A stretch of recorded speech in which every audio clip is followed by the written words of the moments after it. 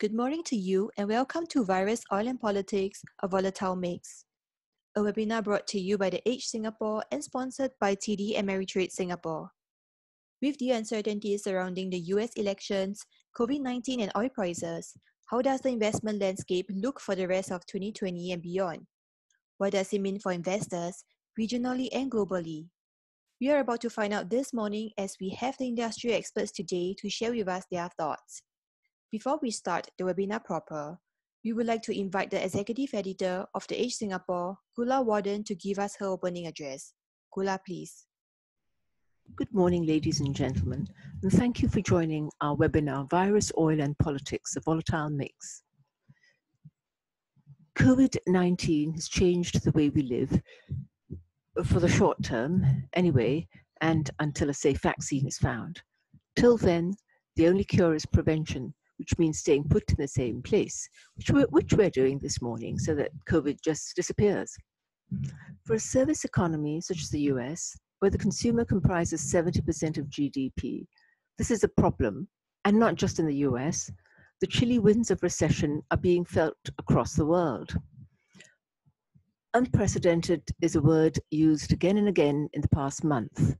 On April 9th, in another unprecedented move, and in addition to endless QE, the Federal Reserve said it will invest up to 2.3 trillion US dollars in loans for SMEs, state and local governments, as well as fund purchases of some types of junk bonds, collateralized loan obligations, and commercial mortgage backed securities. All this combination of coordinated global monetary easing, trillions in stimulus measures, and collapse in energy prices is sufficient to spur an economic recovery? What does COVID mean for the US economy and the US market? Ideally, markets usually go up during the election year. It, they could still end higher.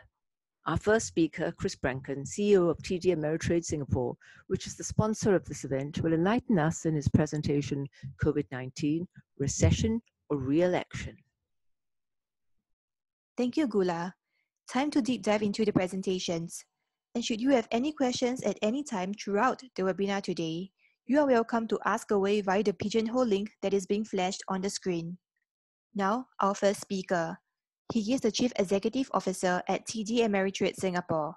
Christopher Brankin is here to share with us the impact of the COVID-19 on the US markets. Over to you, Chris. My name is Christopher Brankin, and I'm the CEO at TD Ameritrade Singapore. Welcome to the Edge's semi-annual event. Uh, I'm calling this one the Coronavirus Edition. Uh, and I want to say thanks to everyone for spending some time to listen to our take on the current US market's reaction to the coronavirus and the market chances of recession and why you should or should not care. So let's get right into it. You know, so wow is a word I think you hear overused a lot, uh, especially in the sports world. But you know, wow is really how much the world has changed since Chinese New Year. Uh, it's strange to say this, but last week was the best week for U.S. stocks since 1974. And so think about that.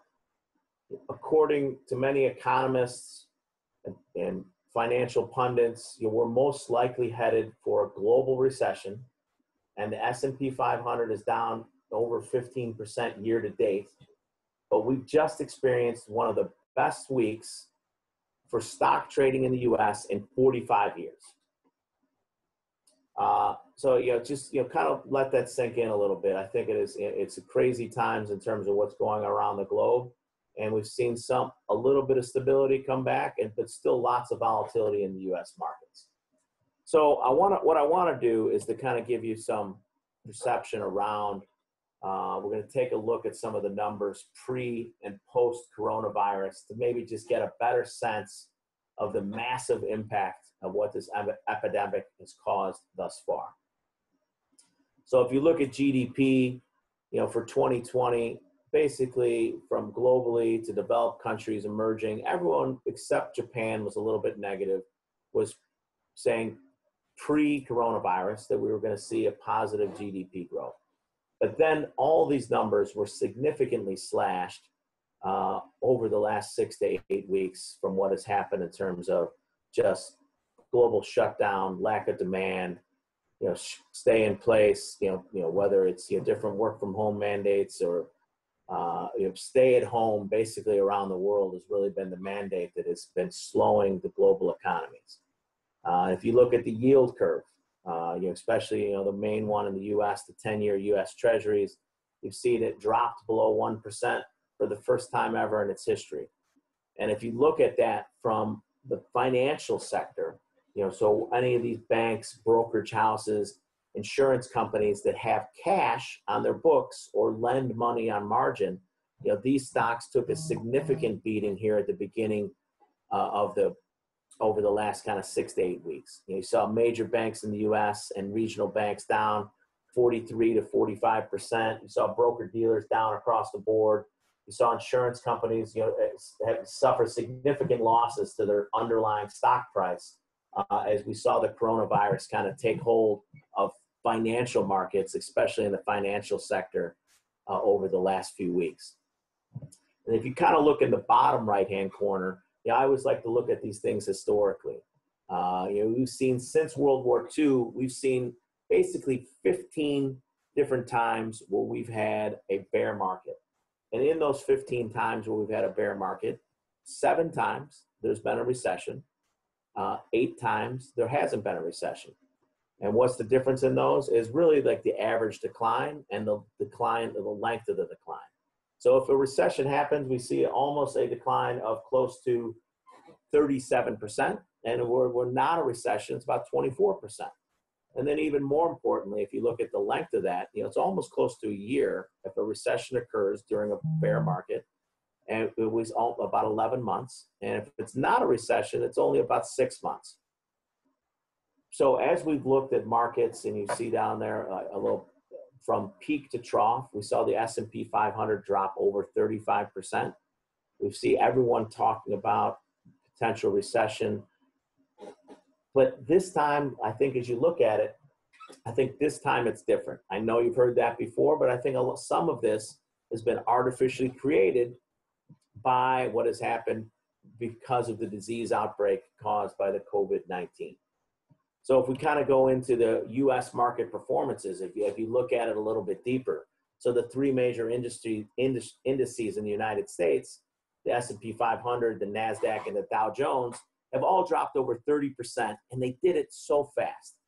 Yeah, they did it in, in basically like a six-week period. Uh, if you look at all 11 sectors in the S&P 500, there in the below left corner, you saw no one was unscathed. Now, certain areas had a little bit more relative strength than others, uh, and certain areas were hit way, way harder than you know some of the other areas that have seen been more of a necessity uh, to the global markets. You know, we'll touch on that a little bit more in terms of what we see our customers actually trading, and maybe where some areas of opportunity might lie here over the next few weeks and months. Now, two big things that we, our investors at TD Ameritrade here in Singapore and also global traders look at all the time is terms of commodities, and that's gold and oil in terms of areas of stress and how sometimes these things are related. So much like the markets have sold off, we saw oil kind of lead the way on this as Saudi Arabia and Russia kind of started a price war. And then we've seen global demand dry up now we see that WTI oil contract hovering around that $20 level. Now, gold, a little bit more interesting, as a lot of our investors here in, in, across Asia uh, do invest in different types of gold stocks and gold futures, as we have not seen quite as a, a appreciation as one would normally expect when we see the VIX, the volatility index in the US, spike to levels we haven't seen in decades and when you see the markets sell off at unprecedented levels, generally gold is more of a flight to safety than it has been uh, here. So our investors and traders around the globe are you know, paying close attention to where those gold levels here head over the next few weeks and months as well. Now, in the bottom right-hand corner, it, this is something that you know most of these stocks people are very familiar with. You know, so most of they're all in the fangs. So the Apple, Amazon, Facebook, and Microsoft. These were some of our biggest net margin reductions, not only for us at TD Ameritrade, but around the globe. Now, some of this might have been paying for some of the other losses that they suffered across some of the larger sector declines, but we do see this information technology sector as an area of potential relative strength as we head, you know, further out into the disease outbreak. Now, one last thing I kind of want to touch on before we kind of get into some, uh, you know, areas of, of interest that we see our investors at TD Ameritrade participating in is what's happened with U.S. interest rates and in terms of where is the probability of recession and do we really think that matters? So if you look at it, the Fed slashed interest rates and the entire yield curve fell below 1% for the first time ever. So beginning of March, Fed cut 50 basis points. Middle of March, they cut another 100 basis points to bring the Fed funds down to effectively 0%. So as we look at this recession probability, now generally you have this Federal Reserve model, and if it hits over 40%, there's generally been a good predictor uh, historically that we're going to be falling into a recession here in the next you know kind of quarter or the next or the following quarter after now some financial pundits and, and procrastinators uh, or prognosticators i guess i would say you know are saying that maybe we're not particularly headed into that recession but i think from a technical standpoint i think it's almost inevitable. But this is where i say does it really matter? And it's really because of something that is, is, has happened around the globe you know over the last kind of uh, you know few weeks that have helped kind of steady the ship so as professional investors and, brokers and, and longtime traders you know we've always tried to tell people look it's a good time for investors to remind themselves of the possible ways to approach this uncertain period look, if you're super worried, the first thing you want to not do is go all out of the market. You don't want to make a panic, you know, decision and to, to simply dump all your positions because you think that the world is crumbling. You know, this is a mistake that many people have made in the past. And at times like these, look, I get it. Like, like it's difficult to sit there and watch this. You know, it's hard for everyone. But what professionals tend to do, and what I've done for the last 25 years, is it if you want to reassess your position and look for areas of relative strength, you should look to take off a small portion and reassess where your risk is. So you don't want to be overly emotional, but I get it. It's your money and it's hard not to be emotional. That's why, you know, I, want you to think in smaller type terms. Because as a professional trader and as market makers around the world, you don't want to get all into a position all at once, and you generally don't exit your position all at once either. So, you know, decisions made out of fear or greed typically don't turn out so well for many in the long run. And if we look at historically, it is proven that not staying invested means missing out in most of the long term market upside. Because even as a professional trader, it's almost impossible to pick the bottom and it's almost impossible to sell at the top. So, my favorite slide stimulus to the rescue. Uh, if you watched any of the financial news networks uh, or read any financial news uh, in mid to late February, you basically saw most financial pundits, you know, said the Fed, central banks, Congress, no one would act quick enough. Uh, no one, the package wouldn't be nearly, you know, nearly large enough it wouldn't support small businesses, et cetera, et cetera. Well, look, the you know central banks and the U.S. Fed and the U.S. Congress have had this coordinated effort to help prop up economies.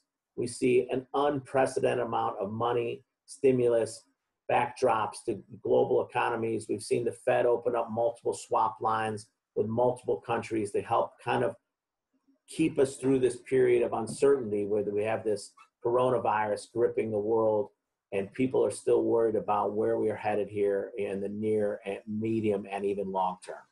So these stimulus packages have really helped kind of stabilize global markets and helped kind of put some money into the consumers' pockets, which has helped kind of put a little bit of sense of calm because we've seen large stimulus packages not only from the US, but Europe, Asia, here in Singapore. You know, the governments are doing all they can to help kind of get us through this difficult period. Now, this is where I wanted to highlight on some parts of sector returns. You know, this is basically since February 19th. Now, these numbers basically change daily because how much uh, market swings we see over the past few days and weeks. But some areas I wanted to highlight. You know, so if you look towards the top, some areas that we see our customers actively participating in uh, is consumer staples, healthcare, and information technology. So information technology are all the companies that basically allow you to do business in a non-face-to-face manner. Much like this uh, webinar that we're doing today through Zoom, you know, this is, you know, becoming more of a norm. And I'm sure many of you have participated in, in these with either work or your friends from home. Uh, another area of relative strength is we've seen across the consumer staples. You know, we've seen uh, lots of spending for the consumer staples, whether people are forced to stay at home or they're on a more just you know restaurants and and and basically going out of your home to eat and drink are not available. So a lot of these consumer staples are being spent, you know, and being sent shipped by the likes of Amazon and others around the globe. And then healthcare is an interesting one. You know, so healthcare, look, there are areas in, inside of healthcare, inside of pharmaceuticals and biotech that are absolutely some areas that we've seen some relative strength uh, as people look for different things around COVID 19 and coronavirus potential uh, solutions. Now, one thing that I would want to kind of tell people to be careful about is much like in the early 2000s around the dot com bubble, is every time a healthcare, pharmaceutical, biotech company garners headline interest because of anything they're doing around COVID 19. Sometimes this causes the stock to move very rather quickly. And but now I would tell you when you see stocks like this and they're not well known healthcare, pharmaceutical type companies, I would take a little bit closer look at them before I'm, I'm putting in a, a large portion of my investment into any of these companies that you don't know much about. Now, on the flip side of that coin, uh, some things that have been a little bit more interesting here recently, and we've seen our, our customers at TD Ameritrade actively participating in. Uh, and it's industrials, financials, and energy. So industrials have kind of come off the bottom, so to speak, in terms of some of the larger industrial companies, whether it's U.S. airlines, whether it's some of the you know, travel, uh, cruise lines, hotels, you know, if it's Caterpillar, you know, things that you know, kind of move the earth from the industrial side of the world uh, with Boeing. You know, a lot of these things were so significantly uh, sold off during this period of uncertainty that we've seen analysts around the globe starting to kind of dip their toe back in the water and look for at levels at these particular levels. And as if we see the continued flattening of the coronavirus curve, we would like to see the economies around the globe starting to come back online and all these a lot of these companies inside of the industrial sector will be greatly impacted by that uh, financials. You know when we saw central banks around the globe when we saw the fed cut their rates to basically zero uh, financials you know had a significant sell-off. We saw earlier that like the the banks were you know almost 45% sold off on the large us banks in the us now since then we've seen some type of reappreciation on that. And the last one on there is energy. Like this one has been, you know, the, the dog of the S&P 500, and rightfully so. You know, we've had this price war between Saudi Arabia and Russia. We've had no demand, uh, just a drying up demand. We have oversupply. We don't know what to do with it. Now, if you look at that, as back to 2016 when you saw this coordination or correlation of the market sells off, oil sells off, market comes back, is there a little bit of appreciation there that you know will be built into the energy market? I think a lot of investors are looking for that because now we see OPEC, the non-OPEC countries, trying to put together more of a substantial deal on terms of what they are cutting in terms of production. And with these production cuts, and if we start to see some type of you know businesses coming back online, airlines starting to fly, people starting to use fuel, that it's going to potentially prop up uh, some of these stocks that are in the energy sector that have been so significantly beat up. I mean, you could pick any one of them. You know, the big oil majors like Chevron and ExxonMobil, some of the oil service providers, Halliburton, Schlumberger. A lot of these stocks have been significantly beat up, and, and investors and analysts alike are starting to take a little bit closer look and starting to kind of uh, I, I, like to say this a lot, like dip their toe back in the water to look at valuation in terms of companies that they think are are relatively priced in terms of uh, if we do see some type of oil rebound, that these stocks would be greatly impacted that on the upside. So the last kind of couple things I want to leave you with is uh, just U.S. kind of macroeconomic overview, global overview, and, and a little bit of hope. So, on the US macroeconomic overview, before going into the COVID 19 coronavirus outbreak period, like the US economy was, was doing, you know, was doing pretty well. Uh, we had, you know, record low, you know, in terms of unemployment. We had a, a, a wages were starting to uptick. Uh, we had a, stable economy and, and, corporate earnings were slightly better than expected from the previous quarter you know, the world has changed since then. And, and the big thing about what drives U.S. GDP is, is the consumer. So almost 70% of the U.S. GDP is driven by the U.S. consumer. And this consumer has essentially been taken offline because of all these stay-at-home mandates across the United States. Now, the, the stimulus checks have started to hit people's accounts in the U.S. And as the curve, as they hope that they that is they're starting to see some type of peak here in the near future, is that the hope is that you know this economy uh, of the U.S. starts to get back online and helps drive you know global growth you know around the U.S. Now, with global macroeconomic overview, you know, so if you look at this, you know, this is where I I think you know before the coronavirus, you know, much like the U.S., I think you know it was it was getting in a better place. You know, there was leading economic ind- indicators for a global economy. It basically kind of put in a bottom, a bottom, and was beginning to look to into a state, a rebound stage. Uh, central banks, you know, from around the globe, especially across Asia, you know, help pump liquidity you know, into these markets. Uh, now, as we look at areas of hope, you know, like most factories in China are open again. You know, output's still very diminished because you know people aren't commuting uh, from cities to work in the you know the typical numbers that we would normally see it. Uh, we continue to see it. You know, it's the only thing anyone talks about. Turn on the news in terms of what's happening with the spread of the coronavirus. Are we flattening that curve? You know, are, what is the world doing to do uh, to help with that? So, from an economic standpoint, uh, central banks, governments around the world, stimulus around the world is unprecedented like no other time in history. And on the flip side of that, like the way that people are acting around the world is, is unprecedented as well. Whether it is work from home mandates that we have here uh, in Singapore or different parts of Europe, state shelter in place across the United States, a lot of these things are starting to take some type of impact. And if we see China start to come back online, uh, we start to see better numbers out of Europe. And if we're, and there's some hope coming from the numbers coming from the United States, like all these things are what I like to be optimistic about is the getting us back to a more normal economic times and environment and, and allowing us all to kind of get back to a regular day to day. Um, so I hope you were able to take something away from that in terms of what it is. You know, I want to thank you for listening.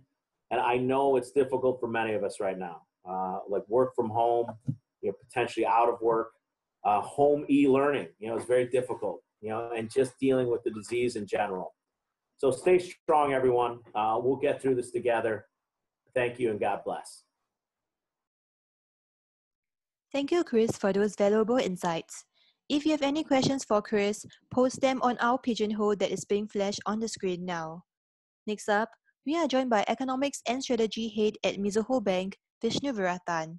He will be sharing his thoughts on the US administration weaponizing the US dollar through sanctions and tariffs. All yours, Vishnu. Good morning, everyone.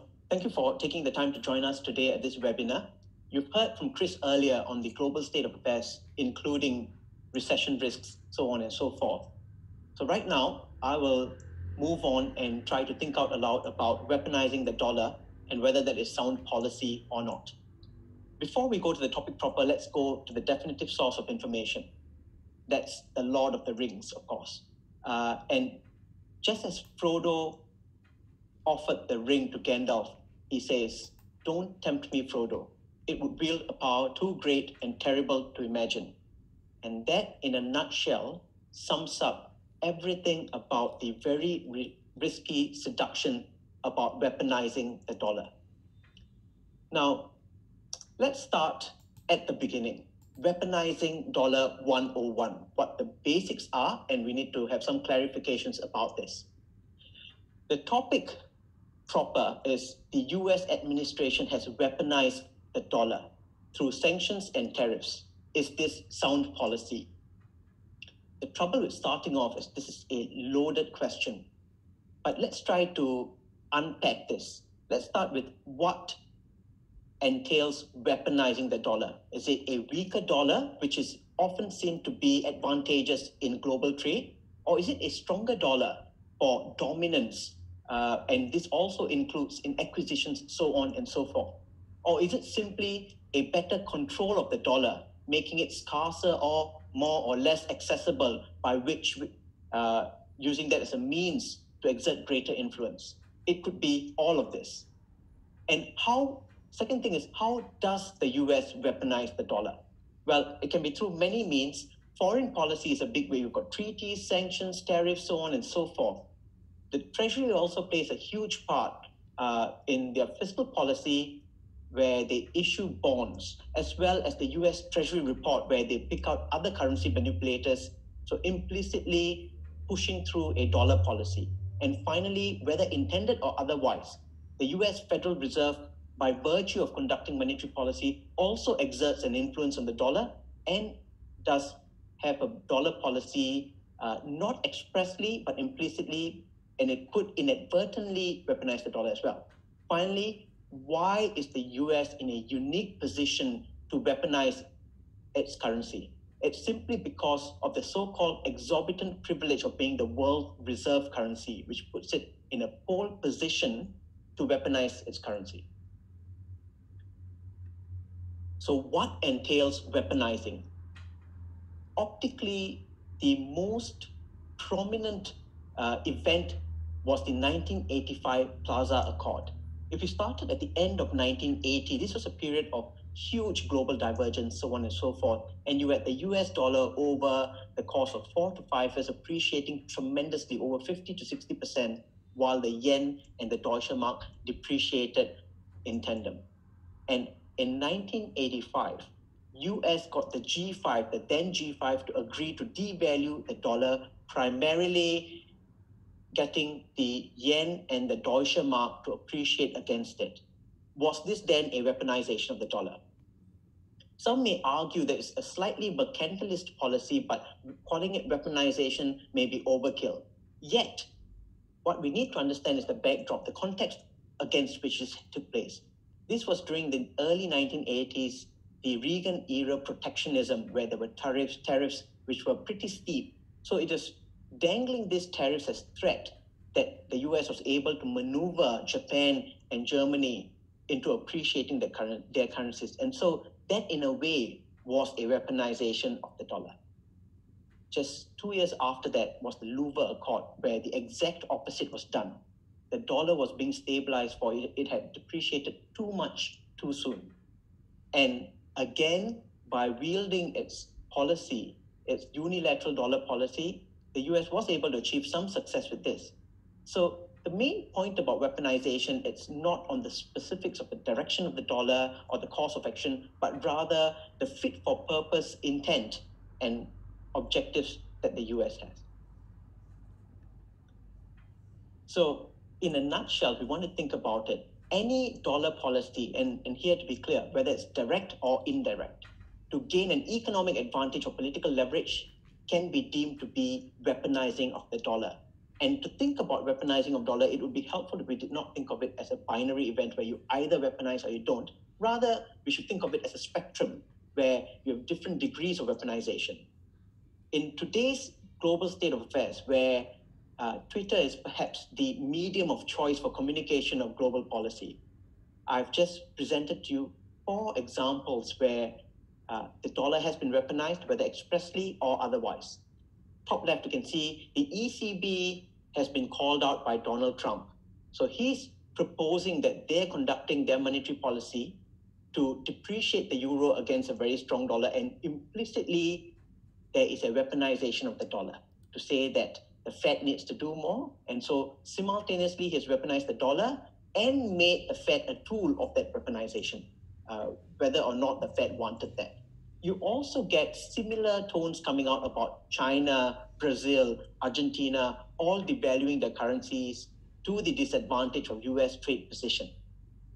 Again, just by mention of this, the, the US is able to weaponize the dollar because the dollar does react to this, or there are consequences, which are the tariffs, so on and so forth. The slightly different example is your top right, where you can see Iran sanctions are being uh, are being put across. And in this case, it's not there's no express mention of the dollar, but what we need to note is by stifling the ability of Iran to trade and to acquire dollars is in itself a huge political tool. And again, the dollar is weaponized and the dollar is the conduit of foreign policy for the US here. And so we go to the question of how is the dollar weaponized?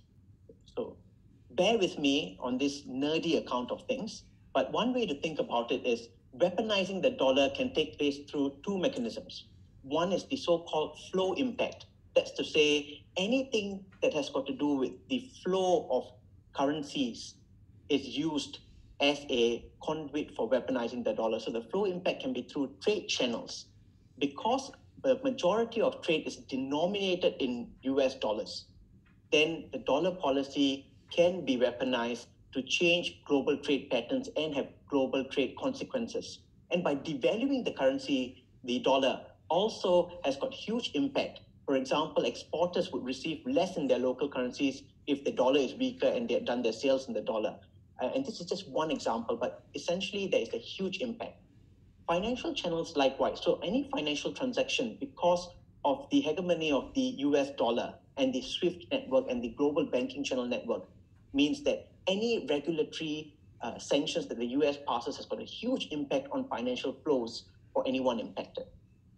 Then there's also the stock impact. The stock impact is the so called balance sheet impact, where it impacts not the flow of currencies or uh, a flow of commerce, but rather the wealth effect.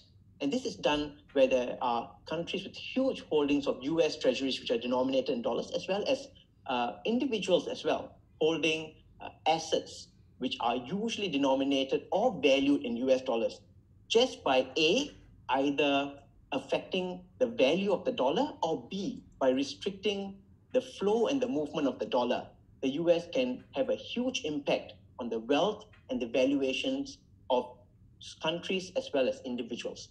So that is how the weaponizing mechanism works. How then are the channels uh, and the tools for weaponizing the dollar uh, stacking up. So essentially, there are two main channels. One is the exchange rate channel, the so-called price channel. By by changing the price of the dollar, by affecting the price of the dollar, uh, you can weaponize the dollar. The other is the sanctions channel, or rather the quantity, by adjusting, calibrating, and controlling the quantity of dollars available or uh, able to move. Also, the dollar can be weaponized. I'll just go back to the slide before and show to you the exchange rate mechanisms which are in green and the quantity or the sanction mechanisms which are in gray. And you can see some affect both by exchange rate as well as sanctions.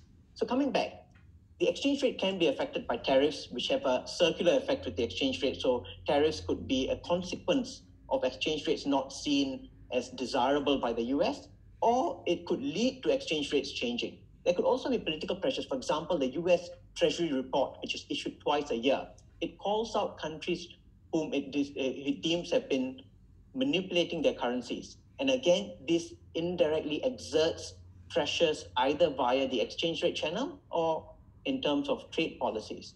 monetary policy as well. And earlier, our example of the Plaza Accord was a multilateral channel by which uh, the, the US able to push through uh, a dollar policy, which is effectively weaponizing the dollar. Sanctions as well. Sanctions can come through foreign policy or regulations, and both of these are under the fine control of the Treasury as well as the US administration. And again, the dollar is either directly or indirectly used as a tool for achieving its political ends. So, why is the dollar in this unique position? And the other way to frame this question is why can't other countries do this as effectively as the US? The simple answer, which we touched upon earlier, was because of its position as the reserve currency, which means that it has a disproportionately large impact on all other currencies, all transactions, so on and so forth. And where does it derive this heft?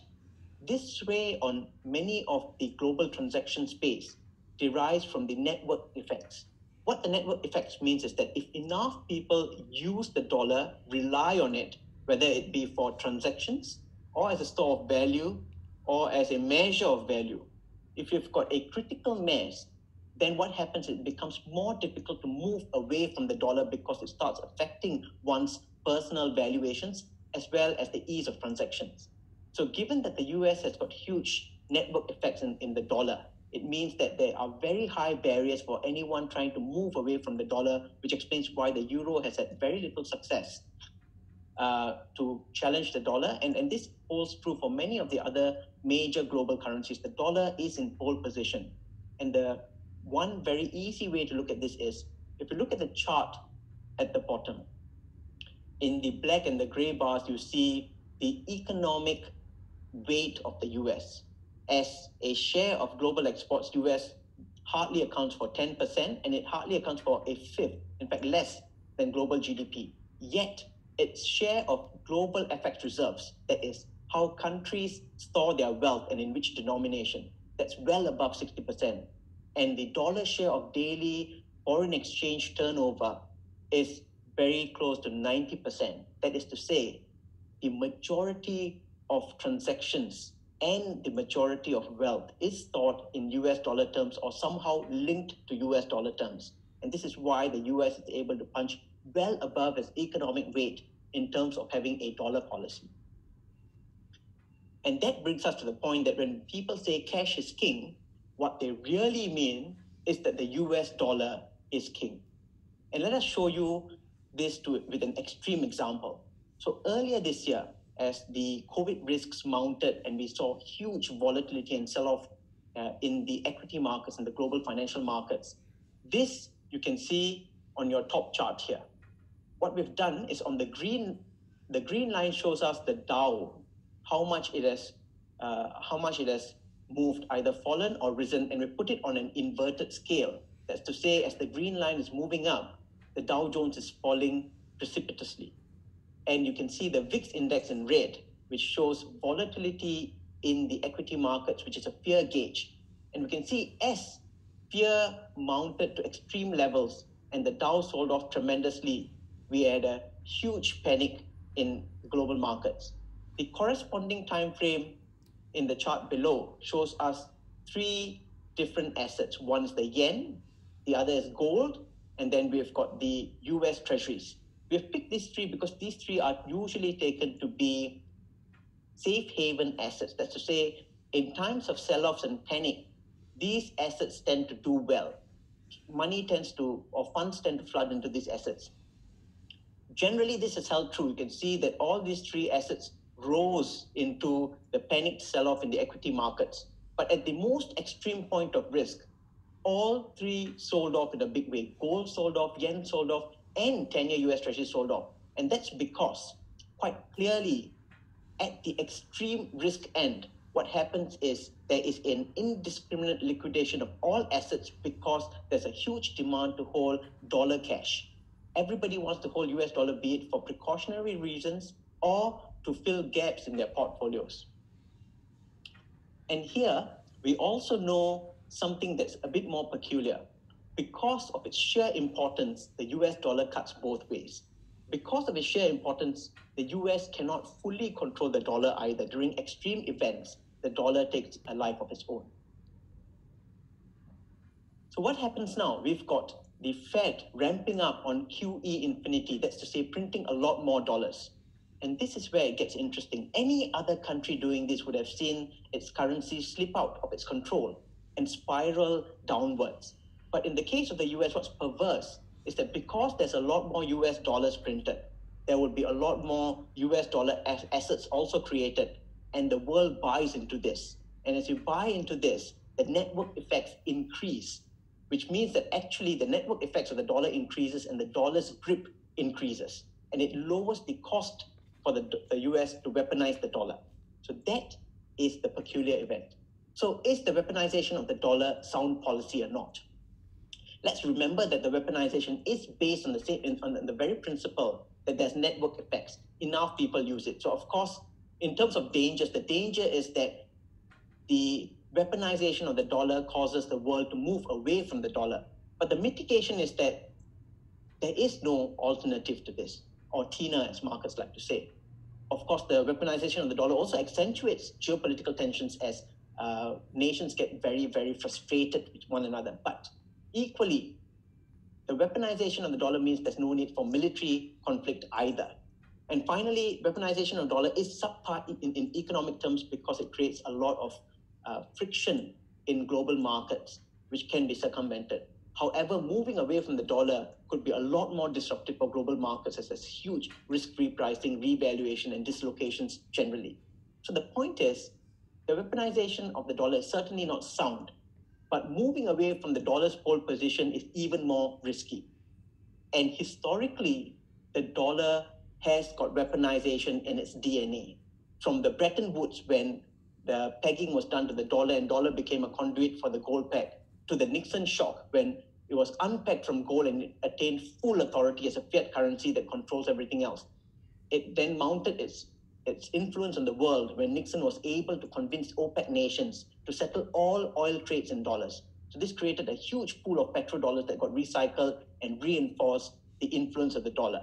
And finally, the pinnacle was when we got the Plaza Accord, where the dollar was able to dictate terms. So, dollar weaponization, whether intended or otherwise, is entrenched in the system, is part of the infrastructure. And the fact is that the dollar cannot be depoliticized. So, one way to look at this, and in fact, necessarily turn it on its head, is to realize that the dollar cannot be de weaponized in this geopolitical construct of things, which is how the world exists. So, here's the conclusion. How do we conclude this? we cannot de-weaponize a weapon, so to speak. And that means that the dollar, because it's so formidable in, a, in an economic, and it has got huge economic sway, means that it also has got huge political heft. And that means that, that which comes with all of its exorbitant privileges. And at the end of the day, politicians cannot resist, and they don't have Gandalf restraint. So it would wield a power too great and terrible to resist. And that is the truth of the politics of the dollar. So while the dollar not being weaponized may be the ideal world, the reality is that we need to be price takers and brace for the realities of the dollar being weaponized to varying degrees. So what do we need to contend with? There are four big takeaways for us. One is that at this period, because of the increased tensions in the global order of things, and due to huge quantitative easing, we need we will need to be prepared for elevated dollar volatility. In particular, we could get huge bouts of safe haven demand for the dollar pushing it up. And at times when it's not, we could get the debasement risks pulling the dollar down. So that we get very whippy uh, dollar trades. As a corollary, it may also means that the hedges for fiat, that's to say, paper currencies losing its uh, the confidence of the world, means that there would be a demand for hedges to that. And that would be things like gold, other hard currencies and assets, and in fact, alternatives like bitcoins as well.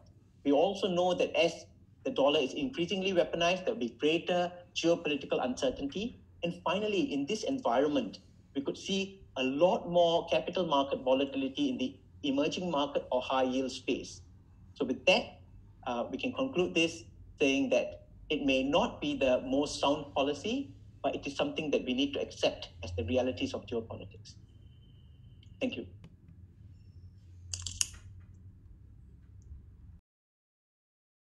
Thank you, Vishnu.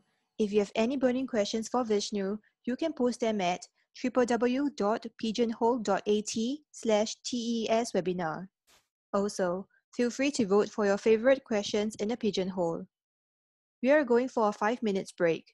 In the meantime, you can click on the links below to find out more about TD Ameritrade and The Edge Singapore.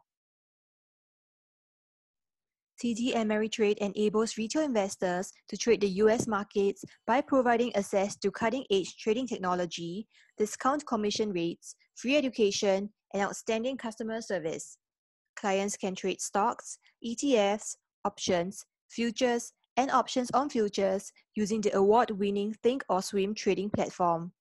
TD Ameritrade is fully licensed with the Monetary Authority of Singapore. Up next, we have Nirgunan Tiruchelvam, the head of consumer equity research at Tellimer.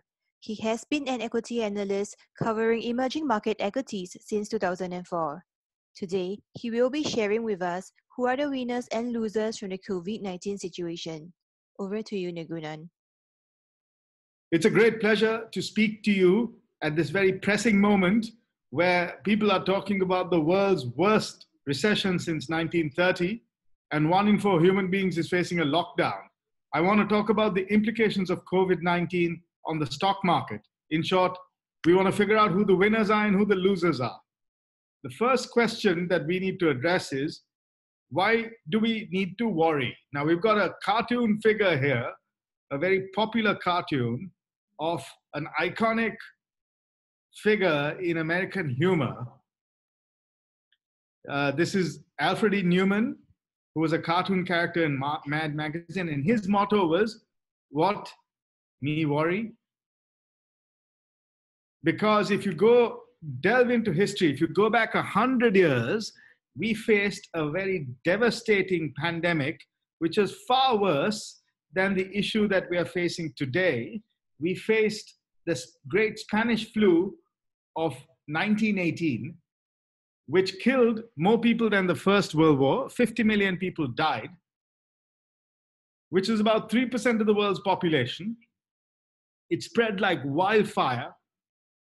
One in four human beings was infected. This part of the world, the part of the world that we are in, British Malaya, which is where Singapore was in those days, was very badly affected basically about 1% of the population perished. The population here in British Malaya was about 3.6 million. And uh, Singapore was affected because it was a port. It was a vital source of rubber for the First World War. It was the main engine, uh, the main lubricant of the Southeast Asian economy. And uh, people were dying at a rate of 50 per day at one stage in 1918 in Singapore. The important thing we need to figure out is that at that time, the health services here in Singapore were much worse than they are today. The hospitals were unable to cope. There were no ICUs. There were hardly any ventilators, it was very rudimentary then. Patients had to sleep on the corridors. Today, we have a far better situation, a far better health infrastructure, we have ICUs, we have world class hospitals, we have a government which is very proactive. Hence, the level of worry that one could encounter is of a far less magnitude than what people were worried about in 1918. But why should we worry today? Is another question. The question that we are grappling with is that the IMF has just come out with a report with the economic outlook, a special economic outlook, where they are expecting a contraction of 4.2% in 2020, which would be far worse than the contraction that took place in the global financial crisis in 2008. Uh, but just to go back to uh, uh the Spanish flu, uh, the, uh, the point I want to make is apart from the health infrastructure, the stock market, the Dow Jones, actually rose in 1918 in the face of death. So the, the, the, the obvious correlation between the state of the health in the world and the performance of the financial markets is not as clear cut as one would think. So we had a 12% rise in 2000 in 1918 and 24% drop so far in 2020. But the real economy that we are experiencing is clearly under a lot of stress with so many with the great lockdown. The IMF has also said that there will be a 12% drop between 4Q19 and 2Q20. The emerging markets in particular would be badly affected with a drop of about 5%. So these are very stark, very worrying, very difficult numbers for an economy to contend with. Hence, we need to figure out what are the sectors in the economy, what are the sectors in the stock market that would weather the storm, that would be able to, uh, to perform under such stress. And I have come up with a, a sector that I feel would be likely to thrive. And that is the so-called stay-at-home sectors. And this sector, it's a, it's a cluster of sectors, so to speak, includes home entertainment, social media, e-commerce, as well as uh, businesses which deliver things to people. So let's take home entertainment. The iconic home entertainment stock right now is Netflix. Netflix is a subscription model. It has uh, virtually unlimited entertainment. It's now tailored its content to Asian and emerging market users. It's proved to be very, very popular. The level of downloads and usage levels have increased three or four fold in the last six weeks.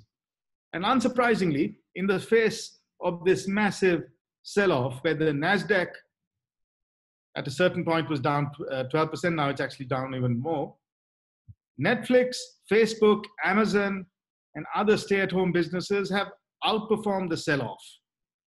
So that shows that the, these businesses have some merit in a market of this nature. Emerging market e commerce, or rather the companies that either sell things through e commerce or perform e commerce like functions in emerging markets, have also outperformed. So you have people like Alibaba. There are uh, regional variations. Uh, you have uh, a company called uh, CUS, which is uh, Southeast Asia uh, Southeast Asian e-commerce player. It's listed in the US. It operates a, a, network, an e-commerce platform called Shopee. So that is a, is a great proxy for this. But these are the sorts of businesses which could thrive. I mean, coming back to the stay-at-home phase, the stay-at-home sector, another thing that you could look at is Facebook. Facebook usage, ad, uh, reaching consumers through online media, that's a space that would be resilient in this sell off. But eh, when assessing the, the value of these businesses, a very important indicator should be the cash sustainability index. We have devised this proprietary metric to assess the degree to which an e commerce player in an emerging market or in a developed market can sustain its cash flow. The great thing about these businesses, the tricky thing about these businesses, is that in many cases, they are growing their revenues, but they're burning their cash flow. They're recording losses, and more importantly, the cash flow from operations are in many cases uh, burning more cash than they're generating by their revenues which means that they have to constantly go to the market, either to bondholders or to equity investors, either to bond investors or to equity investors, to replenish their capital in their businesses. Replenishing your capital in a market of this nature would be very difficult because the stock markets have basically closed down on IPOs. We haven't heard, we've hardly heard of any IPOs in 2020. And the ones which are planned have been shelved. Bond issues have also been very difficult. Interest rates have fallen, but it's very, it would be hard for a company, an e-commerce company, which has very little collateral to raise money in this market. So the cash sustainability index rewards companies that are cash flow generative as opposed to cash flow destructive. And on that basis, Alibaba comes up on top, eBay comes up on top. Over here in this region, Sea, uh, which is uh, the e-commerce platform for Southeast Asia, listed in the US, that scores very poorly on this metric. So clearly, investors need to exercise a great degree of caution and use this metric as a, uh, for illustrative purposes. So just moving on, I would like to now talk about what are the companies or the uh, entities that would be under pressure. What are the blow-ups that we are going to see in this market? What, what's going to be the big short, so to speak, in this market. So if we were to rewind to 2008, there was a, a great hedge fund investor called Michael Burry. Michael Burry later became a prominent figure in a book written by Michael Lewis called The Big Short. And there was a movie made after it, made on it. So you might remember him the, the, important thing to remember about this investor was that he was born, or rather at the age of two, he had a, uh, a rare uh, condition, a rare illness that uh, led to him being blind in one eye. So Michael grew up with just one eye. Ironically, a young boy who grows up with one eye sees the world differently, both literally and metaphorically. He became very, very antisocial. He was just focusing on the numbers. He rarely made eye contact with his peers, but he delved into the numerical analysis to a far degree, a far greater degree, both as a student and later as an investor. So having qualified as a doctor, he became a hedge fund investor. He proved to be very, very prescient and very, very successful in identifying some of the weaknesses during the global financial crisis. And he shorted the, um, the United States uh, mortgage market. And he made 700 million for his hedge fund. Apparently, he personally made about 100 million dollars. So that is a phenomenal achievement uh, in the face of such economic and financial downturn. So in this scenario, investors need to display a Michael Burry type insight. They need to delve into the details of companies to identify the sorts of companies that are going to be vulnerable in a context of this nature. In my mind, there are three, and the three types are on this slide. One very vulnerable category in this market would be the companies without inventory. Now, inventory is a essential concept in finance. So let's take a very simple example. A company that sells a, re, a, a, a shop that sells oranges let's say that shop has about 100,000 oranges to sell. If there is a shutdown and the shop is closed for a month, it can sell the 100,000 oranges at a later date. If there's a shutdown in April, maybe when the shop opens in May, it can sell it having stored the oranges. But in other businesses, in certain service businesses, for example, in the airline business, if an airline has 1 million seats to sell over 365 days.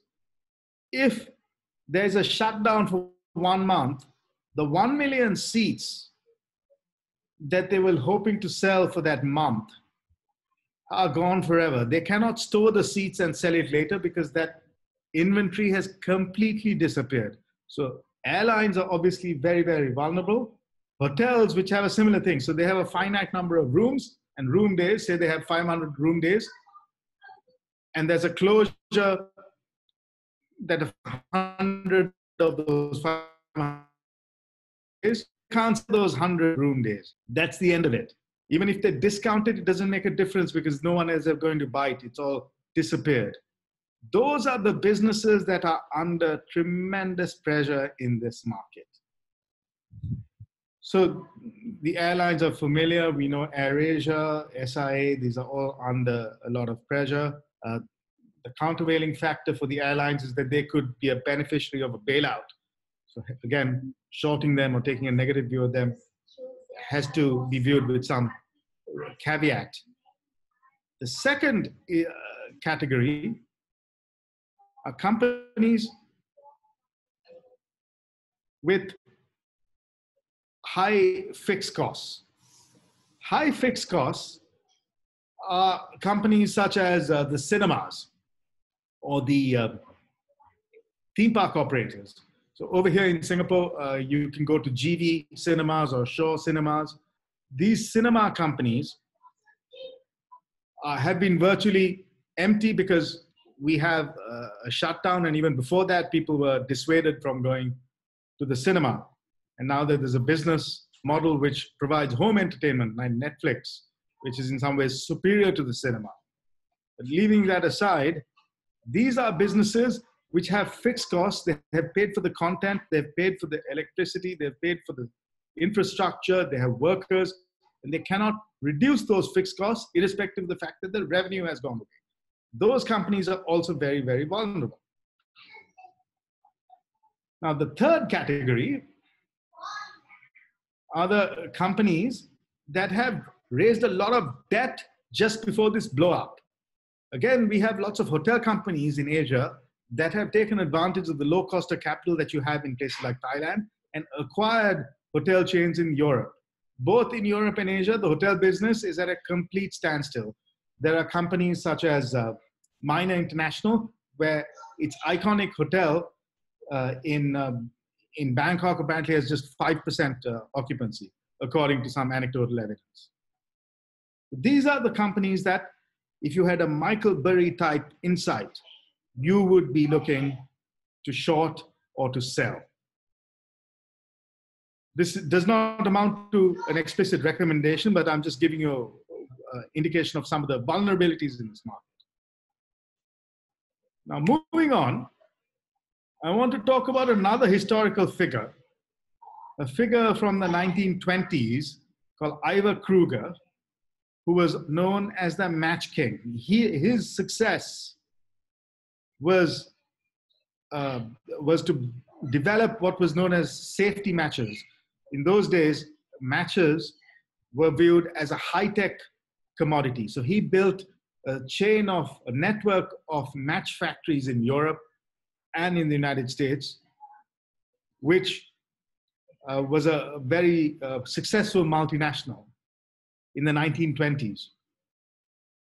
So the match king Ivar Kreuger was a highly revered businessman. However, his empire came crumbling down during the depression of the 1930s because it was exposed that he had manipulated the accounts during the 1920s and created fictitious sales.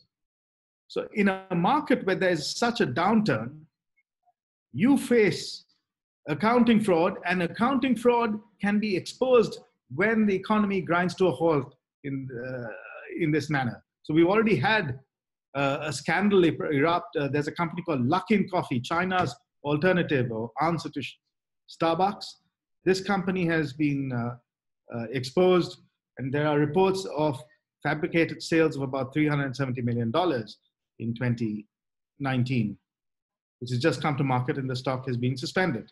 Or rather, the stock has been, the stock has lost 90% of its value. So events like these are going to become more and more frequent. So, to, to sum up, investors need to do three things. Number one, investors need to look at stay at home businesses, home entertainment, e commerce. These are the businesses whose models are very, very attractive at this point. The second is that they need to look at selling or shorting the companies which are vulnerable, the companies with inventory, with leverage, with a high fixed cost, as I mentioned. And the, the, the third thing that investors need to be very, very alert to are the blow-ups. So keep your eyes on the sanctity of the accounting standards of a company before delving into it. We need to adopt Michael Burry's insight and the care with which he delved into the nitty gritty of the numbers. With that thought, I leave you with some sobering lessons, but with also with the hope that the situation today is vastly different to what it was in 1918. And one can only hope that human ingenuity will take us out of this morass and into a brighter future. Thank you. We have come to the last and most exciting part of our webinar. Goola, our moderator, will be taking questions from the pigeonhole for our speakers. Over to you, Goola. So uh, let's kickstart with the with a panel discussion. Um, I'll start with the most popular question on our pigeonhole. Um, and uh, there are 42 votes for this one. And I'm going to direct this question first to Chris, Chris Brankin, our, our CEO of TDA Ameritrade Singapore, who's also the sponsor of this event. Um, Chris, so over to you. Which sectors of the economy are likely to recover the fastest and which the slowest? And we're talking about the US economy. Uh, look, I, I think uh, you know that is something that is talked about all the time. Uh, you know, as we can't avoid anything is around discussions in terms of what coronavirus has done to impact not only the U.S. stock market, U.S. economies, but around the globe. And our customers at TD Ameritrade are looking for areas of relative strength. Um, so going, I like to look at it kind of pre-coronavirus and then post-coronavirus to see where things might have some relative value. Uh, you, you hear a number of different people kind of talk about things around the information technology, uh, whether you, you call it part of your stay-at-home index or uh, basically I like to call it like do business non-face-to-face index. So anything in this information technology sector going into pre-coronavirus, you know, kind of around Chinese New Year, like you know, all these areas were looking pretty strong. Uh, you know, and whether that's you know delivery or you know, I, you know information technology at home, you know, whether it's the Amazons, Facebooks, you know, Googles of the world uh, have been relatively strong and would look for some type of quick type of recovery or continued recovery mm-hmm. uh, if as we see the flattening of the of the disease curve around the globe and as economies hopefully start to come back online here over the next few weeks and months. Uh, another area that like that a lot of our customers like to look at is around healthcare and pharmaceuticals. But this is an interesting one to me, and I and the reason why I say that is it, it reminds me a little bit of the dot com uh, bubble type area where if you have a pharmaceutical company or a biotech company and you just make mention of the word COVID 19, your stock might garner some headline interest that might not necessarily be dollar for dollar in terms of where the stock might move in the near term. So, what we tell our customers if you are looking to participate uh, in this biotech, pharmaceutical kind of healthcare uh, resurgence, so to speak, pay closer attention to these companies maybe you've never heard of that are on the smaller side that somehow are trying to come up with some type of therapeutic or some type of you know, response to what the coronavirus has, has done to the globe and take a little closer look in terms of their numbers and in terms of what their actual valuations are. Uh, now, Goola, did you want me to go into that, that? Those are some areas that we see relative strength, you know, or we kind of, you know, like we have some things on the flip side of that coin, I think, as well.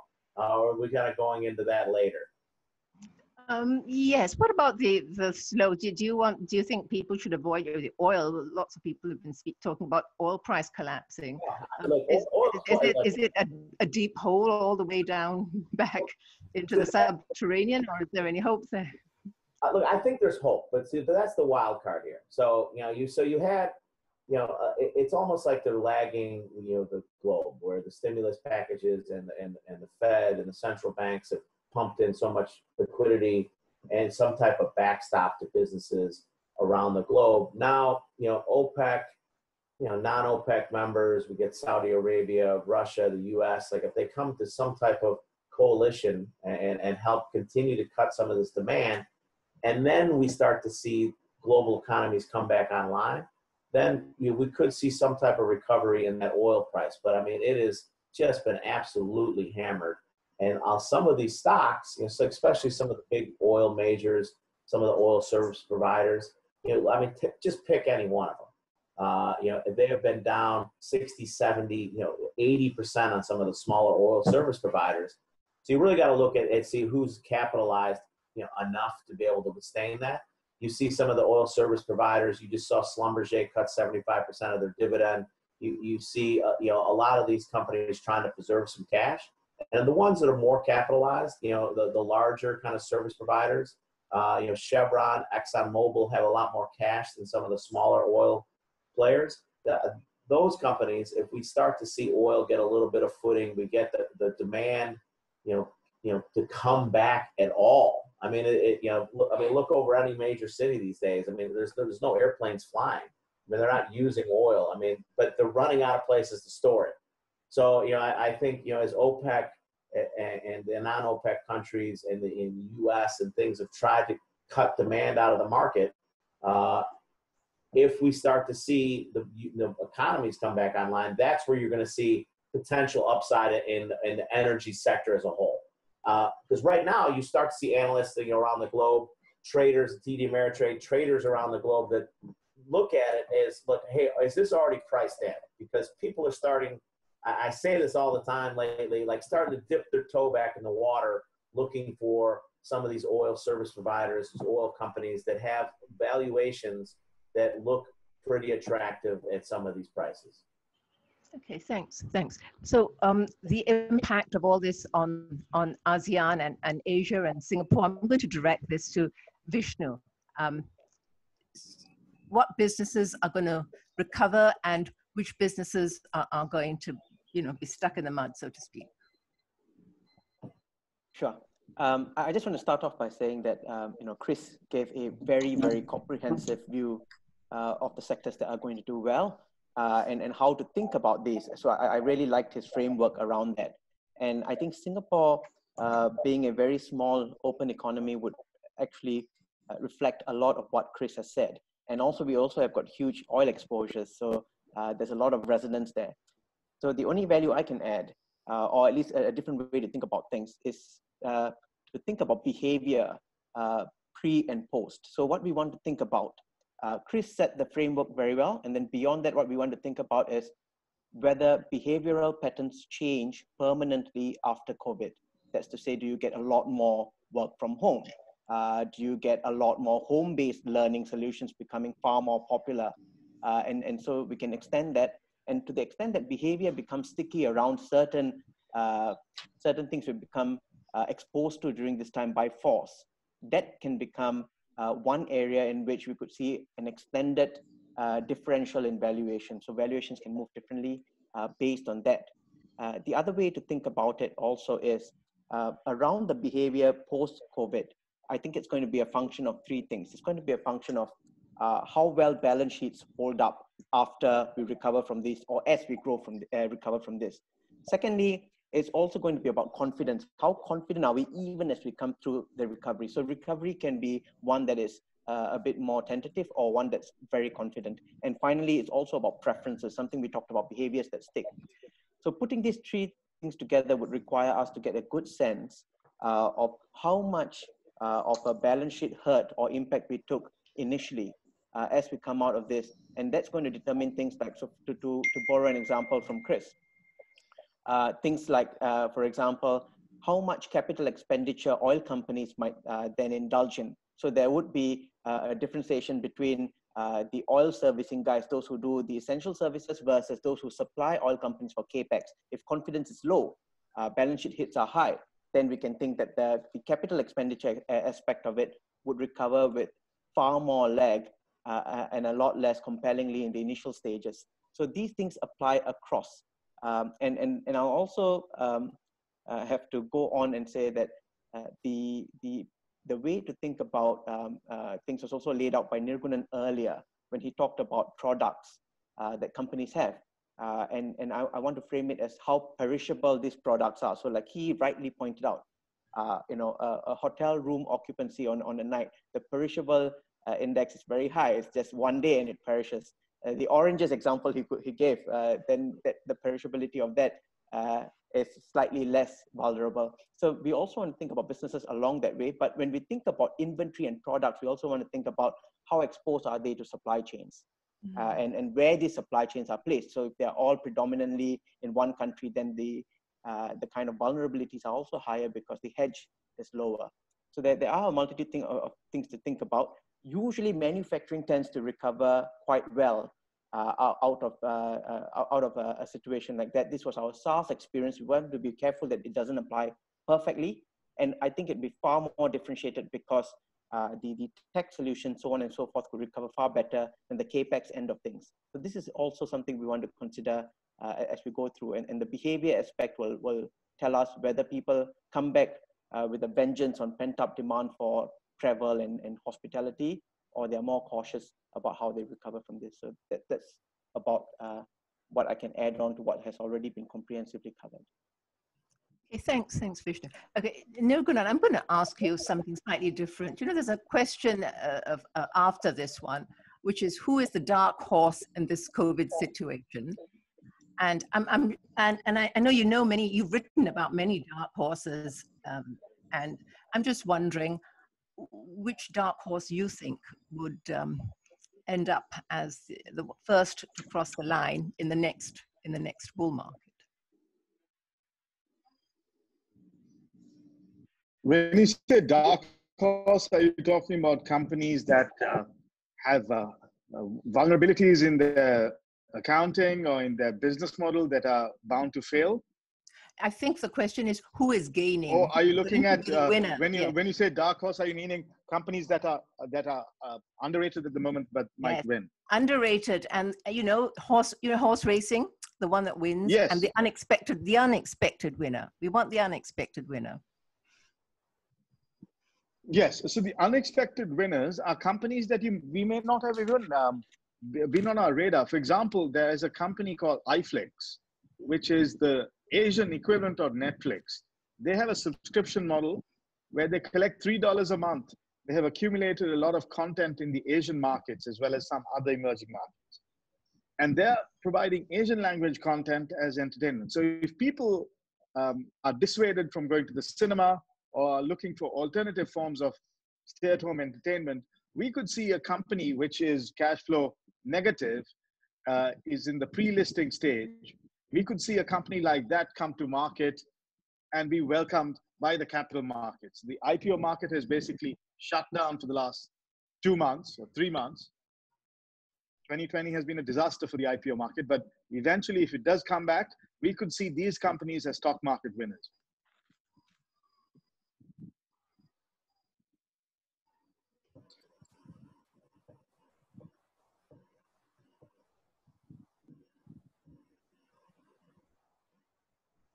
Nikki, are you there? Yes. All right. Okay.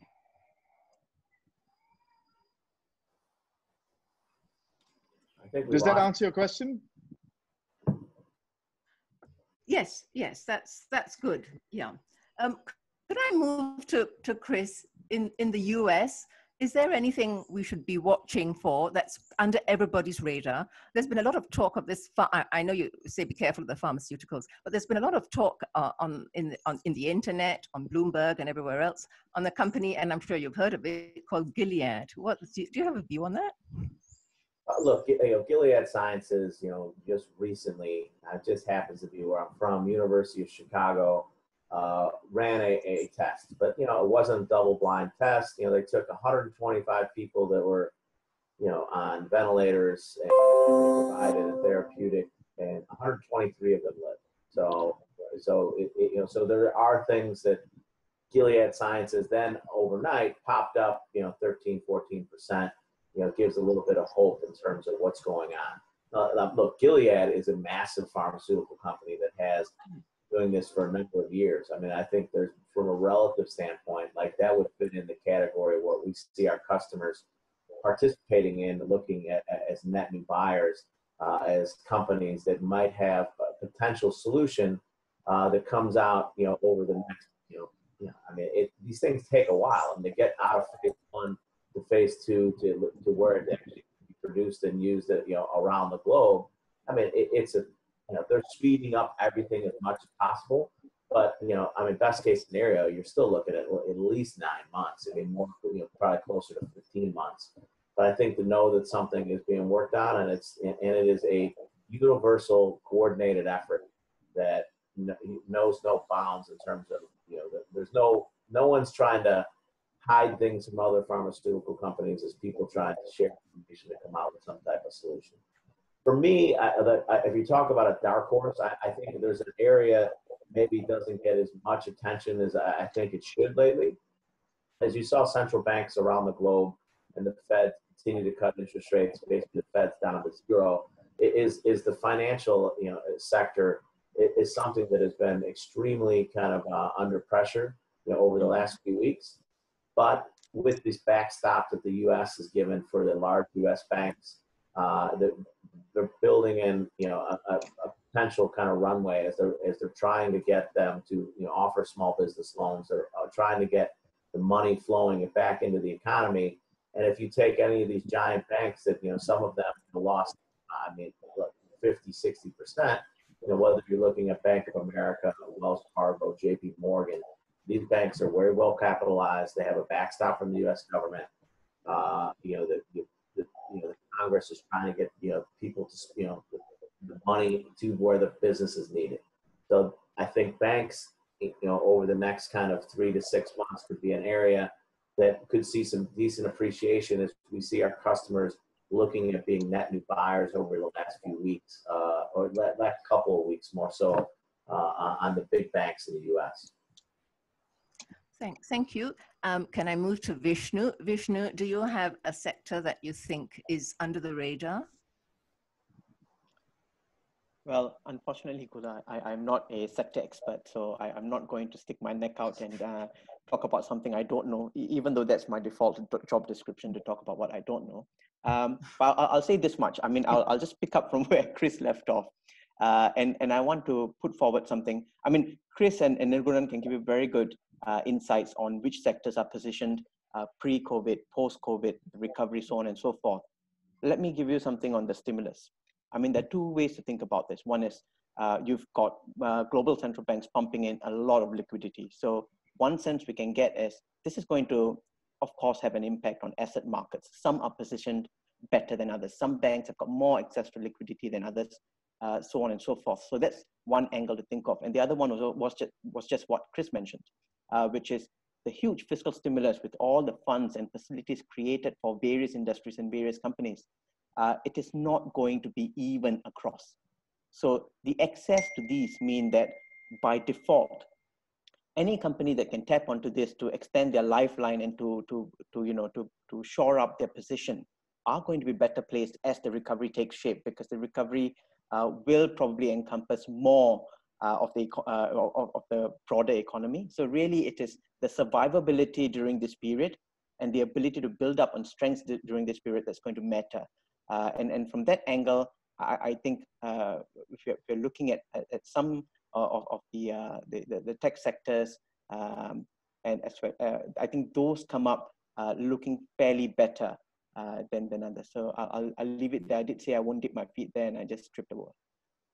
Okay, well, I'm st- st- stay, stay there, stay there, Vishnu, because the next question um, we're going to look at is what is the impact of endless QE on the US dollar and um, and, and its subsequent uh, impact, you know, the meaning for the, for the, of the, our ASEAN currencies, for emerging market currencies. Right. I mean, the easy thing for me to do is to say, okay, let's borrow from uh, our experience in the post GFC period where we saw QE, QE1, 2, 3 with the twist, so on and so forth. Um, but I think where we need to start is by defining what's endless QE. uh, because I know the Fed just removed uh, any ceiling and said, look, we'll do whatever is necessary. Uh, so I think to form any view on it, we need to get our heads, wrap our heads around two things. One is when we say endless, do we mean it to be, uh, you know, really a, a, continuous thing that's got no stop? Or do they intend to stop somewhere, but they just haven't predefined it yet? So that's the first thing to see what size your balance sheet reaches to. And just to give you a ballpark, the Fed uh, has done a lot. And, in terms of absolute bazookas, they've got the biggest. But relative to the size of the economy, uh, they're just at 20 odd percent.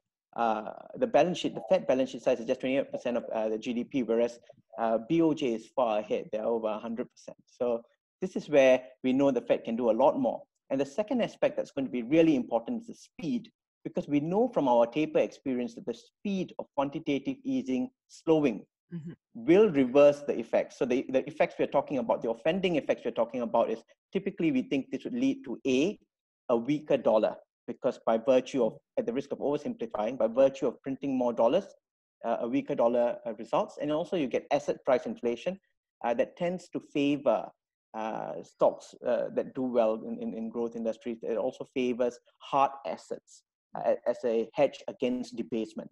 So that aspect, these Talk two about are property. Re- is it is property? Yes, property is also a hard asset, uh, though I think there's some discounting of it because it's harder to liquidate on, on, on very short notice. So when you when you price all that in, hard assets tend to do very well. But then you need to think about uh, the moment it starts slowing, some of these effects could start to stall or partly reverse. So this is what we have no clarity on. Uh, if, if I told you I've got a view on this, I'd be lying. I, I don't know exactly where they're going to stop but we do know that they will slow down a little bit at some point. So what we would expect in, in, in the interim is to get a, a fairly volatile dollar. And, and really what complicates the picture is the fact that the dollar is also a bit of a safe haven. So right now, markets are going to be between chasing the liquidity and then wanting to uh, hunker back down, you know, uh, to, to say, look, this is a, uh, we, we really need to, to protect against certain extreme risks. So th- this is going to challenge the view on asset markets. Okay, thanks. Vishnu, I'm, I'm going to stay with you. Stay there, stay there. Um, is the coming recession going to be short-lived with a quick recovery or deep and lasting? Um, so I think the question should be question should be V shape, U shape, or L shape. Okay, and and then and then I'm going to ask all the other the other two speakers. I think let's leave out the L shape, U shape or V shape because there's three of you and you've got to vote on these two. Quick. uh, all right. Look, I'm, I'm, I'm first. Be... Chris, next. Go on. Go on. Decide. Okay, All right. I'm, I'm, going to be really cheeky about this. I'm going to say, I, I don't want you to. You can't stand. Uh, you can't stand on both legs. Hop on one. Okay. I'm going to lie down here, and I'm going to tell you, um, the only V in this discussion is going to be the one attached to my name. Uh, I, I so that I mean, so what do we think about the recession? Uh, okay, surely there's a downturn and, and we also see a recovery coming through, albeit with a bit of a lag. What challenges this view uh, is the fact that uh, unlike the GFC, where it was about freeing up liquidity and rebuilding confidence, uh, this one is slightly different because it's uh, got to do with uh, uh, things like social distancing, the ability to start back. So there'll be a lot of interruptions. So we, so it's going to be and, and I, let me then try to make it up to you. So I'm, I'm going to come around and say it's going to be more U than V because the initial stages of recovery are going to be tentative and very cautious because people will still be in cash preservation mode. Uh, balance sheets would have already have taken a hit. So the ability to splash out is going to be constrained. Of course, uh, the caution here is that because of the QE type stimulus, uh, the argument is to say asset markets could go slightly towards V. Mm. Whereas I think my argument is going to be if we're going to look at the real economy, uh, the recovery is going to be more U than V. Uh, and that would be the short answer. I'll, I'll, pass the floor to Chris to give you a lot more color on this. Well, yes, thanks, Vishnu. Uh, you know, look, I think you brought it up earlier. Like, you know, it, it's around behavior, right? So, like, I, like I would say, I, I, would be more in the camp of V, but with maybe a little bit of choppiness. And as I was thinking about that, I go, that looks like a W. Uh, you know, so uh, so uh, like I, I I'm I, I'm probably more optimistic than a lot of people that I talk to in the financial world Uh, you know, I know a lot of people in New York, and it's really hard for them to be optimistic right now. I mean, they're the epicenter of everything, of the break of the outbreak right now. Uh, I, I just, as you look at, you know, China's factories starting to come back online, you start to see, you know, Europe, you get a better understanding and a hold on terms that they think they're at their peak, and you know, maybe the U.S. is a couple weeks away from that. So if we get that in terms of continuing down that path, I think we, we, we will see it come back online. You know, and we talk about changing behaviors and work from home. Look, I can tell you people that I talk to on a regular basis that are in Chicago and New York that have been at you know, shelter at home or work from home for, you know, five weeks already, look, they're ready to get back out in society. I mean, yeah, because like, you know, like some of the things that have been, you know, we talk about behavioral changes like e-learning at home. Like, look, if you have multiple children and you live in an apartment in Asia, like learning when you're working from home, is difficult. You know, I'm sure there's lots of people on this, you know, this call here that like, like would would would uh, would agree with me on that. So I think you know for the recovery itself, I, I it really like there's a few unknowns, right? I mean, but I think there's signs that we're headed in the right direction. And because of all the stimulus that we got from different, you know, uh, countries around the globe, we got the U.S. Fed, we got the U.S. Congress, you know, backstopping not only the U.S. but open, opening up multiple swap lines with different countries around the globe.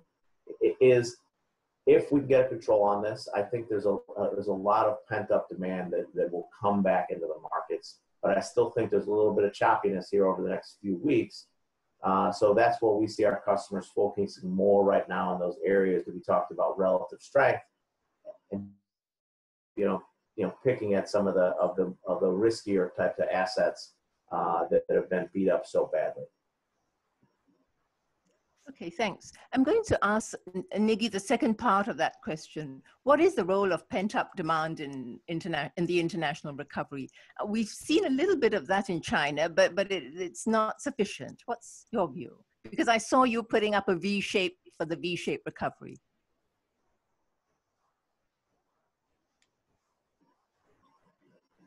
Yeah, yeah. Nirgunan, are you there? yes, it's true. Nirgunan, are you there? I saw him putting yes. up his yes, yes. Yes. Uh, what is the role of pent with, uh, with, Yeah, you uh, you into V. There is, yeah, a V shape recovery. I, I am. I saw that. I saw that. Yeah. Yes. So if I may um, elucidate on what uh, uh, Chris said, we certainly are on the road to recovery. And if you look at the view of the financial markets, the, the market's only down 15% in the US year to date. At one point, it was down 33%. It's rallied 27% since the third week of March. Hmm. So we are now well into the recovery route.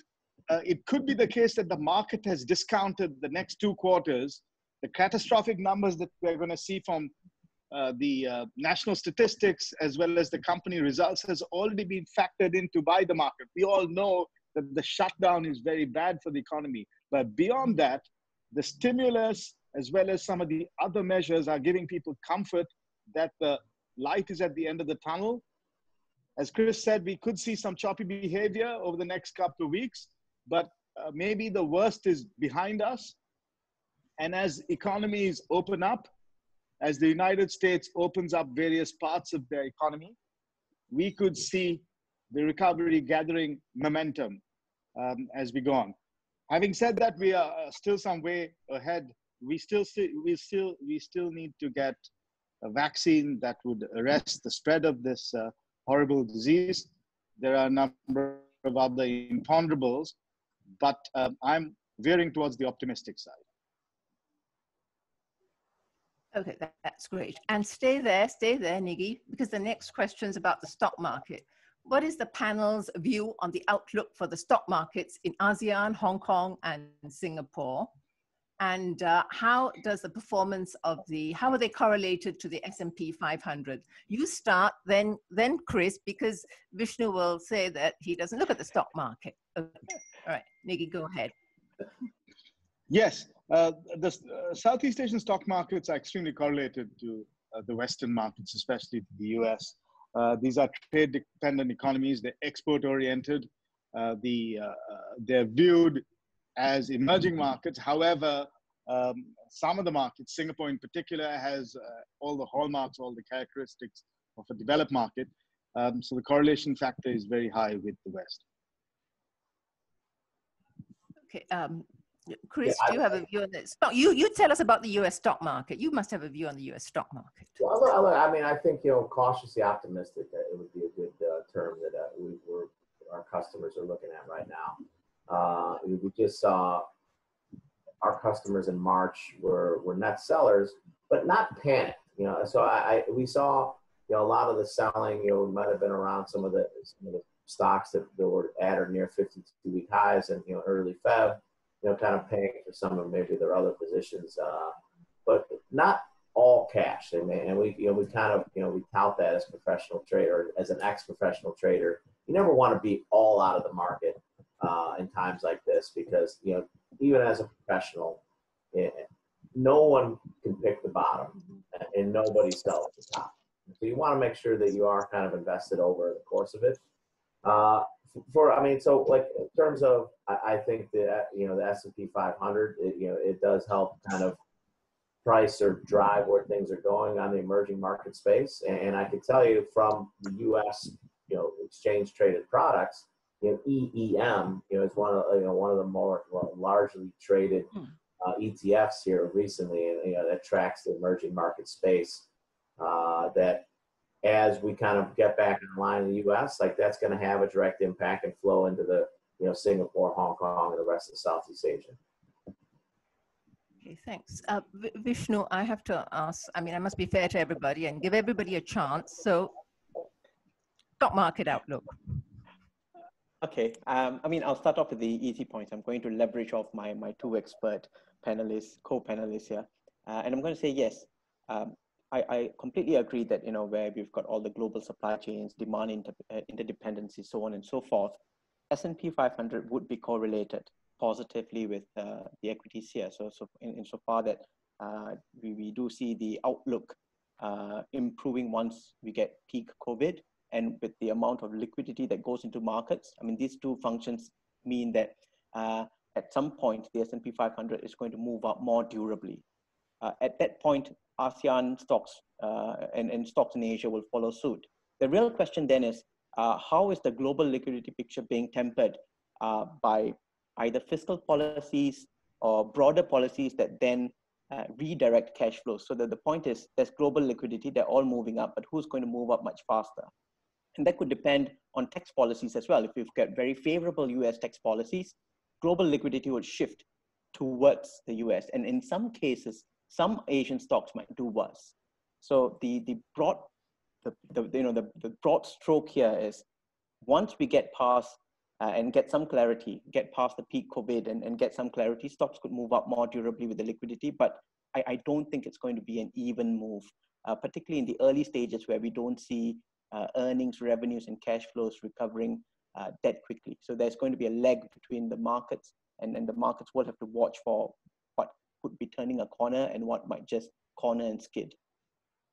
Okay, all right, Vishnu, stay, stay there because the next question um, is is about I think the topic that you spoke on um, earlier this morning. Is there a hypothetical risk of China attempting uh, to push back against the hegemony of the US dollar, as they surely can't be happy about the power of the reserve currency? How will it manifest in reality? Good and I'm told as, yeah, yes, you, you spoke about this, didn't you? Or didn't you? As, as you said, I did speak earlier in, in two senses. I, I touched on it earlier. And, and last year, this was the topic. uh, so so in, in, in more than one sense. And, and I'll give uh, the, the, the, the upshot is this. It is not hypothetical. In an ideal world, China wants to challenge this is it a real and uh, present danger at this moment? Is it a real risk now? No, it is not. So it's not hypothetical, but nor is it a risk. And and the the how how do I expound this answer? It is because even post to uh, GFC in 2008, China was already kicking up a fuss about dollar volatility, uh, creating a lot of uh, disruptions in the market, and, and and they were then trying to propose, uh, you know, alternatives to the dollar as the reserve currency. So we've got a whole basket of currencies in uh, in the IMF, if you wish. And, and, and you know, the renminbi has now been added. So in theory, there's a group of currencies that could be considered reserve currencies, but by far the dominant currency is dollar. And it's got huge network effects, not just from global trade and global asset markets, but also from petrodollars and just in terms of uh, the, the network effects of it. And are we able to uh, dislodge this at this point? No. So China can do all that it wants. There are institutional factors as well. So, for example, IMF, World Bank are two big institutions that entrench the position of the dollar. So, has China started the challenge? Yes, they have already have. AIIB is one example of an institutional factor that's being put in place so that the renminbi could rise uh, apart from its trade flows. And, and, we, we don't get that much trade done in renminbi anyway, even if even though China is a huge trading power. So they are putting in institutional factors, but these are not very quick switches, particularly given that uh, there are so many impediments for, for, for China's case, uh, capital controls or imperfect capital mobility and the inadequacy of its uh, capital markets for, for, for the world to buy Chinese government bonds. The desirability of it or the availability of it, both are lacking. So on, on that basis, I'm going to say, I'm going to reiterate, it's not hypothetical. The challenge has already started but it's just an announcement of the challenge. Uh, is, uh, is there anyone getting close to uh, the dollar? Not quite. Uh, I, I, know this is not a good analogy, but uh, the dollar is the Usain Bolt. No one comes close, or at least not, not for the Olympics that we saw. So I'll leave it there.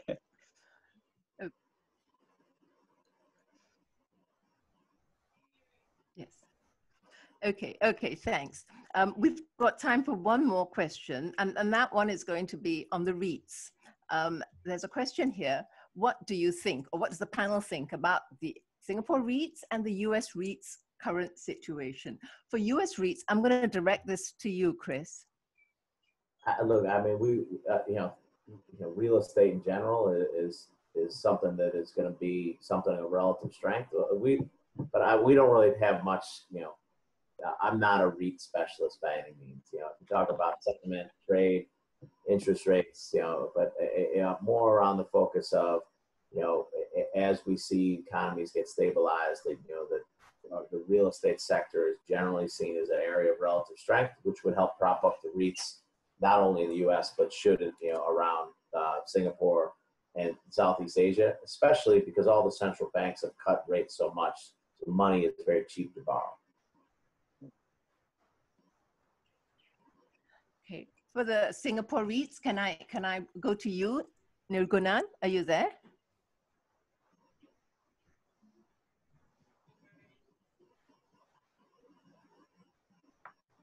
Niggy? S REITs? Hi, hi, how are you doing? Yes, I, I, I'm fine. I, am asking you, do you have a, a, view on how well or badly the S REITs will do now that uh, the MAS has raised their gearing ratio to 50% and uh, deferred the ICR that was uh, going to be troublesome for uh, some of about, I think about seven or eight weeks and um, deferred the, yes. the, tax transparency. Yes. Mm.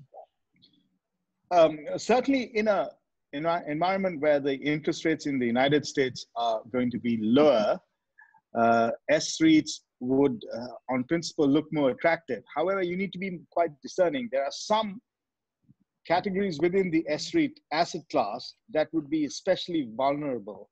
For example, the mall REITs, uh, the commercial REITs.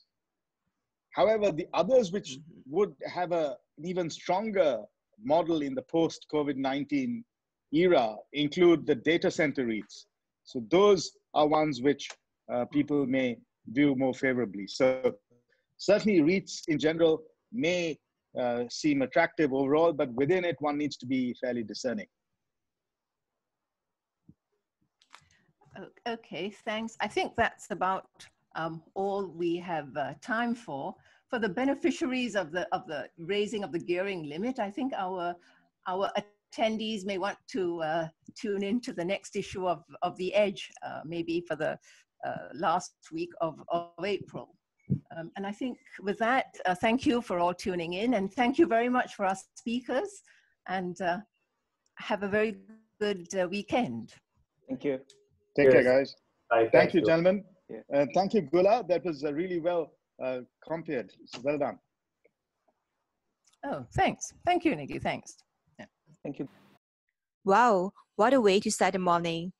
Thank you to Chris, Vishnu, Nirgunan, Goola, and you for joining us this morning at Virus Oil and Politics, a Volatile Mix. This webinar was brought to you by the Edge Singapore and sponsored by TD and Ameritrade Singapore. We will be sending a feedback survey to you shortly. Our webinar slides and recording will be sent to those who participate in the survey. Stay home, stay safe, and have a great weekend.